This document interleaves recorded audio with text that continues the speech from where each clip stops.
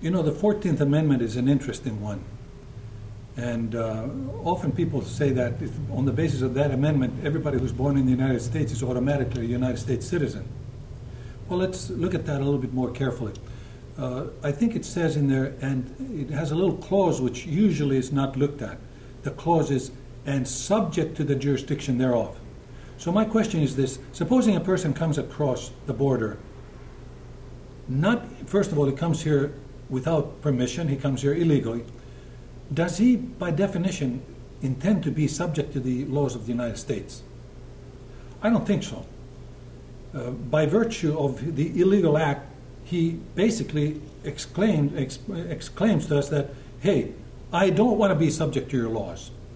Well, consequently, the children that are born to these uh, to the illegal uh, aliens in the United States should not be considered United States citizens because uh, they're not subject to the United States uh, jurisdiction. Uh, before you think that that's outlandish, let's look at the history. You know, the 14th Amendment was passed specifically to make the slaves U.S. citizens. Well, it had two exceptions in there. Uh, one was Indians. You know, Indians were born on U.S. soil, but yet they were not recognized to be United States citizens right off the bat. And they finally became U.S. citizens through the various treaties that the tribes made with the United States government. And the last of that only happened in the 1920s. Then there's another class of uh, people that are born uh, in the, on U.S. soil but yet are not U.S. citizens. And that's true even today. Most people don't realize this. People who are diplomats, their children are not United States citizens.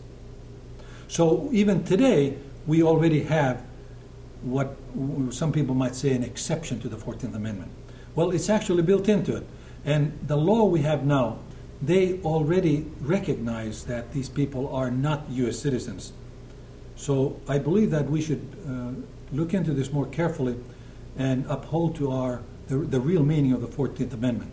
You know, I often hear criticism against that uh, by people who say, why should children be penalized for what the parents have done?